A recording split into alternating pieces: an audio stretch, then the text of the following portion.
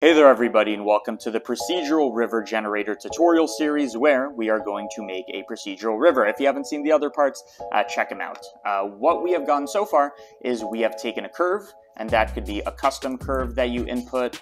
Um, let me actually go to wireframe so you can see it. Uh, you take a curve and it's going to turn it into a uh, strip that most importantly, we can control the uh, thickness of and it stays uh, centered and all this, assuming you don't make it too crazy. Um, if it gets crazy, you can just take this and like smooth out the curve.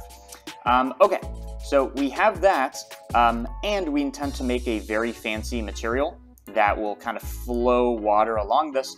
Uh, but to do that, we need to send information to the shader editor. We need to make a coordinate system that lets us create a texture coordinate space, that lets us flow things. So we need to know two things. One, I want to know how far along the river we are. That's useful information. Another one is I want to know how far across the river we are in some sense.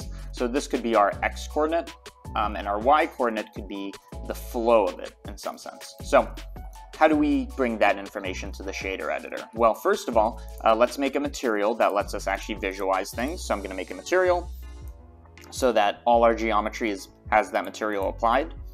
Then in the shader editor, we can edit this material. So let's actually check that this works. So I'm in render mode, I'm changing the color, perfect. Uh, what I want to do is invoke a coordinate system because you'd want something like uh, UV coordinates, but we don't have them, right? So here's what we're going to do. Uh, for this, we need first of all to know uh, how far along the river we are. That's basically asking um, how far along the original curve are we, right? Because if we know where the curve is, we know everything else. Okay? So what I can do is I can take this curve that we resampled and like repositioned, um, yada, yada, yada. Uh, we can take it and extract the spline parameter.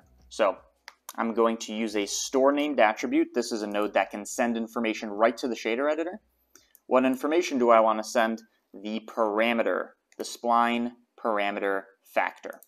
This tells us, again, a, a number between 0 and 1, 0 being at the start, 1 being at the end, of where are we along the curve. I'm going to call this variable u1. Another thing I want for another store named attribute is how far this way across are we. And remember, this is basically proportional uh, to the extrusion, right? So the information should be here. If you think about it, it's almost like we took the curve, this curve, and made like two of them and connected them. What this means is that if we set this one, this strip to 0, and this strip to 1, we can interpolate 0 to 1 here, and here, and everywhere. Okay? Uh, basically what this means, and I want to make sure, yeah, I didn't undo that. Uh, basically what this means is that I can uh, take the extrude mesh, take the top, and what top means in this case is what uh, is extruded, the selection, that's going to be equal to 1 and everything is equal to 0, we can take that and store it as a U2 and connect that to the uh, geometry and make sure this is connected here. Okay, so again, U1 is telling us how far along the thing we are. U2 is telling us are we at the original vertex or the extruded vertex that we are going to interpolate. Okay, let's visualize this. What we can do is bring in our attributes by using an attribute node. Let's uh, use U1 and let's use U2 and let's see what that looks like. So U1 should give us a black and white gradient that goes along it. A good way to test this is you send this through a greater than node and you can see the flow of this in some sense. So it goes from 0 to 1. Um, the other one should give us a gradient going this way. Again, it works because our original curve has points set to 0 and the selection is only for the extruded points. It interpolates between 0 and 1. Uh, and another way to visualize this is using the greater than, 0 to 1. Um, so we have a nice coordinate system. All we need to do is combine it into a two-dimensional thing. So I'm going to combine x, y, z. Uh, which one you make x and which one you make y is arbitrary. Just be consistent. So what I'm doing here is I'm making x be the uh, flow, how far along the river we are, and y be uh, how far across we are. Just a convention, doesn't matter. Um, the nice thing about this now is that we can map anything that uses a coordinate system to this uh, strip. So I can use the, uh, this as the coordinate system uh, for, for this, right? So now we have a checkerboard and it's gonna work no matter how much we extrude it. It's always gonna work and we can make it proportional to length if we wanted to. um, so it doesn't stretch this. Um, and the way you would do that, by the way, is you do a division of or a multiplication by the uh, total length. So it would be something like this, right?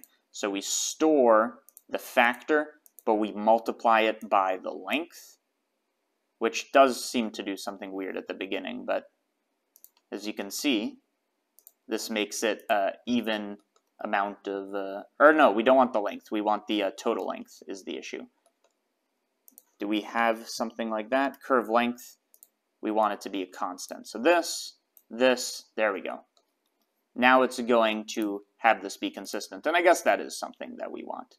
Again, the advantage of this is we know where we are along the curve. What this means, and a river flows, uh, what this means is that we can take this, add to the x-axis, no, no, add to the other axis.